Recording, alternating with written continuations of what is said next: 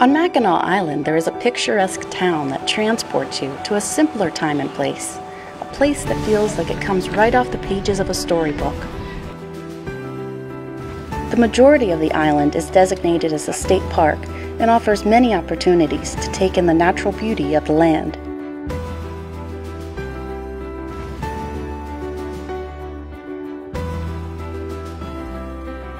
As you're coming into Mackinac Island, you'll see the beautiful village below, you'll see the harbor, uh, but know that 80% of this island is protected and it's here for the public to come and enjoy.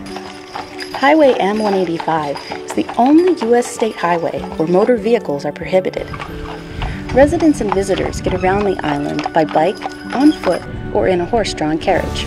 Taking the bike ride around Mackinac Island and M185 is one of the must-dos once you come here. Uh, there is just something to be said about just kind of leaving your, your, your worries behind a little bit as you get on your bike and just and just cruise that eight miles around Mackinac Island. Um, the views are, are second to none, and it, it, really shifts as you go around. So as you're, you're going around the east side, you see Arch Rock, um, which is a beautiful natural formation up there, and you, as you keep riding around, um, it kind of shifts, and all of a sudden you, kind of go around the western edge, you hit Pointe aux Pins, and then the Mackinac Bridge unfolds before you, and you're kind of back in civilization a little bit, um, and you just kind of get this this different sense of wonder as you go around, and then you kind of come back into town, and you're you're back in the thick of um, just kind of the, the, the, busyness and the visitors, and um, you know families buying fudge and having ice cream, and just kind of taking back to this this idyllic resort town um, in northern Michigan.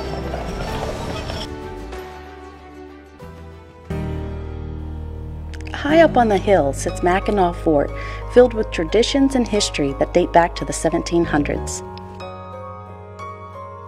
Uh, this was an active military installation from 1780 until about 1895. 20 years of that were as a national park from 1875 to 1895. The uh, United States military was running both an active military installation and a national park, and they didn't want to be doing either of those things in this very remote place in the world here. Uh, so they abandoned the fort, but they transferred the national parklands over to the state of Michigan, and Mackinac State Park was formed in 1895. You know, taking that, that bike ride around and then coming up to Fort Mackinac and Fort Holmes and the different state park areas, you kind of get this sense of the history, of the beauty, of the wonder, and what makes this place so special.